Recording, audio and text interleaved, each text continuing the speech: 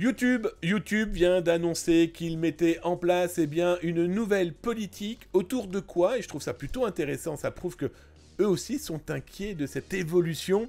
Ils viennent de mettre en place des règles pour les contenus générés par l'intelligence artificielle sur YouTube.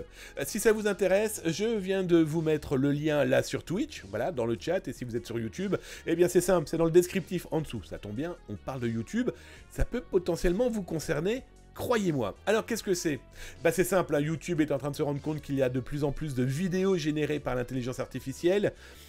Ils ont clairement été rappelés à l'ordre par la Maison Blanche, par d'autres entités politiques et juridictionnelles, en leur précisant, euh, maintenant il va falloir que vous mettiez des outils en place parce que Souvenez-vous, je vous ai montré la vidéo, MrBeast, le number one euh, de YouTube, hein, celui aux millions, centaines de, millions de vues, euh, s'était fait et s'était retrouvé avec une deepfake de son visage et de sa voix, vantant des crypto-monnaies. Bien sûr, c'était pas lui, c'était une arnaque derrière. Et donc, du coup, YouTube est obligé Google donc est obligé de mettre en place clairement eh bien, des politiques des politiques autour de ces nouveaux algorithmes que j'ai cités comme sophistiqués parce qu'il va falloir protéger et les gens, protéger ces entreprises, et puis surtout tenter de comprendre comment on peut les repérer, ces petites cochonneries.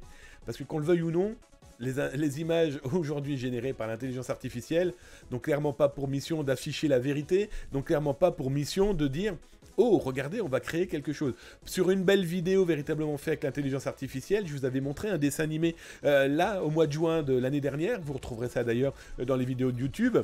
Le reste, malheureusement, c'est soit des démonstrations de malveillance, voire clairement des actes de malveillance. Je vous laisse lire cet article. Si vous êtes youtubeur, si vous êtes utilisateur d'intelligence artificielle, nous, très clairement, avec Zataz, on utilise entre autres MyJourney pour faire des belles images inédites et dédiées à l'article. En vidéo, c'est plus gênant de le faire parce que faire parler un acteur, faire parler une actrice ou un homme politique, lui faire dire des choses, même si ce sont des blagues, il faut obligatoirement l'annoncer. Babylon, YouTube a dit, bah écoutez, il y en a de plus en plus, on vous prévient, on a mis des règles.